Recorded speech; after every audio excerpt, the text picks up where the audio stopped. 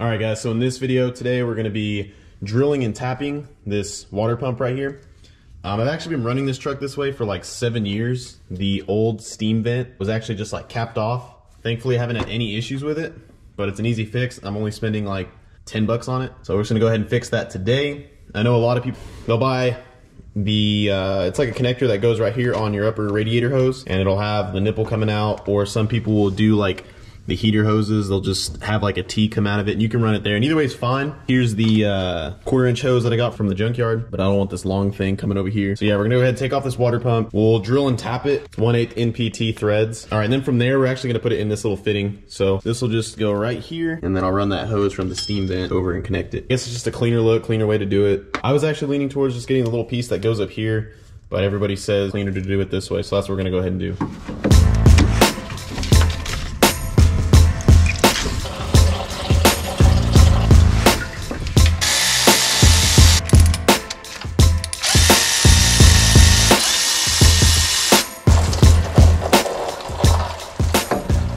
All right, so then about 15 minutes later, you just make a big old mess and let your coolant flow all over the garage floor. We got the water pump off, it's over there on the ground.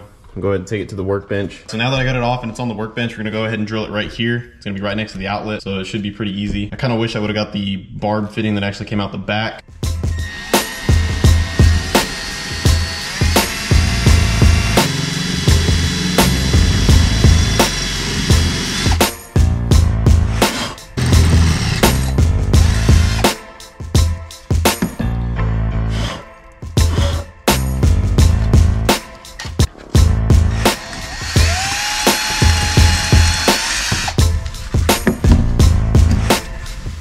So now go ahead and put the tap in.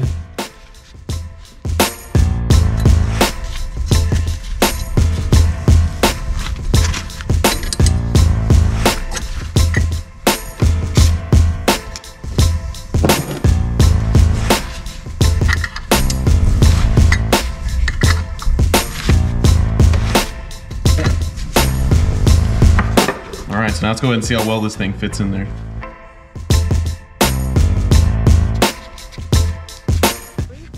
Threads in pretty nice to me. I'm gonna go ahead and throw some sealant on it.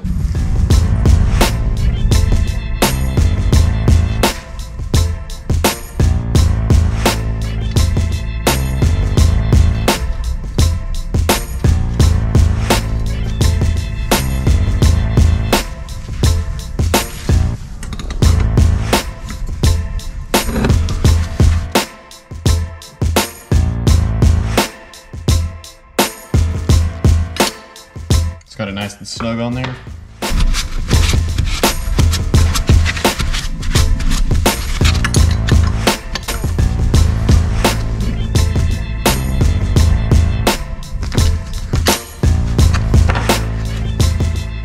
All right, so now it's the next day and I got the water pump cleaned up. I got the fitting threaded in there with some thread sealant on it, so we'll go ahead and put it back on. I cleaned off the mating surfaces and I went and got some new Felpro gaskets.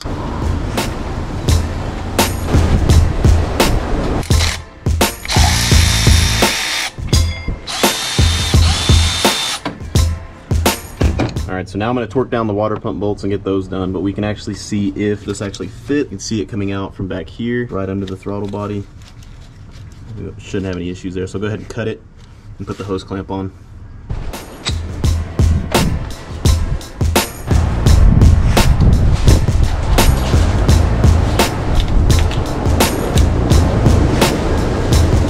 Well, that looks pretty good to me.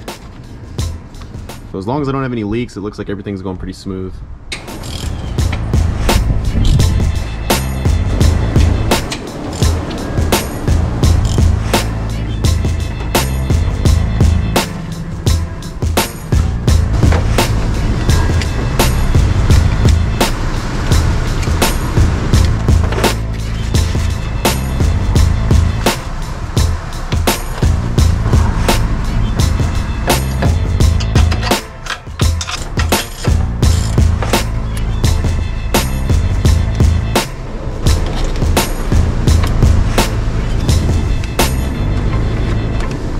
So I got everything back together. I'm gonna go ahead and start pouring it in. I think I need to pour it from this hose to fill up the block first until I see it coming out, and then I can actually connect it back to the radiator, fill up the radiator, and then turn the truck on.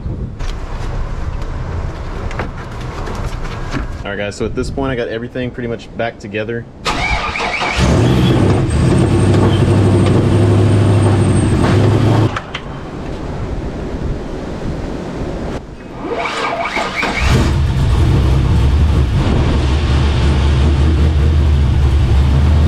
My fitting gets here as soon as I finish this up. There it is. It's been idling for about 30 minutes now and there's no issues, it's not overheating. Thermostat's opened up. I got it topped off here.